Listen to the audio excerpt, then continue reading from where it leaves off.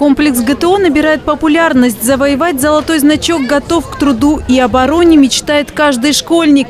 А вот некоторые взрослые просто хотят проверить свою физическую форму и сдать нормативы. В первую очередь это я делаю для себя, потому что веду здоровый образ жизни, всячески пропагандирую это среди своих друзей, знакомых. Все участники при регистрации получили индивидуальные карты.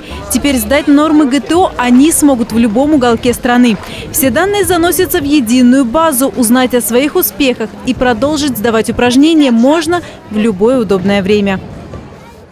С этими картами уже э, участники могут э, посещать различного уровня мероприятия не только в Одинцовском районе, но также в Москве, в общем, по всей России.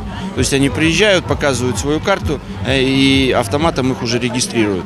Погода в этот день тоже была на стороне участников соревнований. В таких комфортных условиях гораздо легче было справляться со сложными упражнениями. Около каждого снаряда инструктор, который не только следит за правильностью выполнения задания, но и фиксирует наилучший результат спортсмена.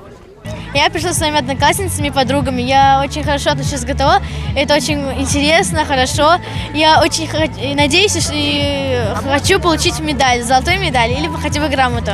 Чтобы сдать ГТО, в первую очередь э, нужна вообще выносливость очень хорошая, как выносливость зверя, э, воля к победе и все хорошие качества спортсмена.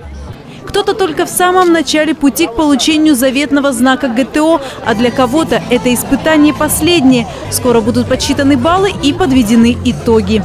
Мария Шматкова, Станислав Трифонов, телекомпания «Одинцова».